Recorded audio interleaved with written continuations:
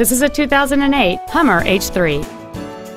It features a 3.7-liter five-cylinder engine, a four-speed automatic transmission, and four-wheel drive.